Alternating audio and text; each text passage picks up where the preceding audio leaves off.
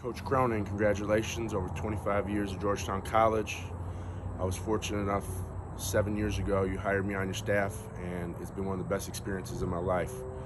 Uh, you've won national championships, conference championships, but the one thing I'll take from you is just the relationships that you've built with people. Um, you treat everyone with respect, and you make everyone feel like they're important, and I can't thank you enough for that. Um, I wish you and Ellen good luck in retirement. Hit them straight and hit them far. Cheers. I want to personally thank Coach Cronin for adopting me in 2003 at a time when I was debating leaving coaching. My family was able to become a part of the Tiger family and go on an incredible journey over those 19 seasons and make wonderful memories. You have been a mentor to me both professionally and personally, and your family has meant the world to us. You accomplished so many amazing things doing it the right way with so much class. Thank you for everything you've done. I want to thank uh, Coach Cronin and Ellen Cronin for all the years of service.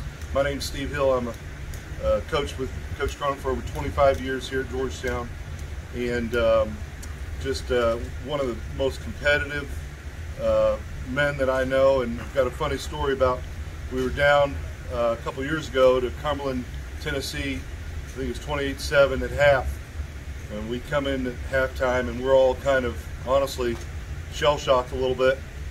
He goes into the where we keep all the snacks, all the uh, cereal bars, flips the table. Everybody's eyes just wide open. We come out, probably one of the best comebacks I've ever been a part of here at Georgetown, um, and came back and won that game.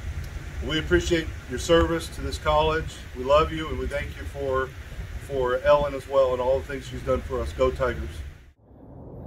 Hey, Tiger Nation and Tiger family. My name is Marty Park, and this is Strider Cronin Park. We are beyond excited to help celebrate Coach Cronin today.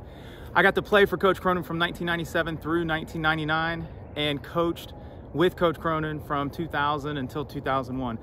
Got to be a part of every single one of Coach Cronin's wins.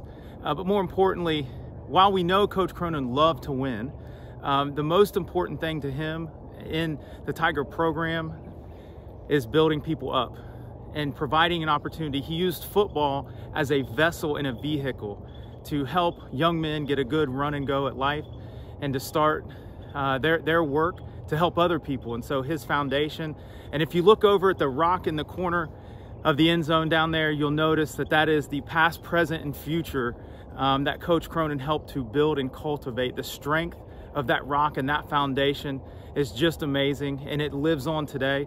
So I am just honored to get to celebrate Coach Cronin uh, with everything that we have today. So let's give a great big Tiger Pride for Coach Cronin today. Tiger Pride.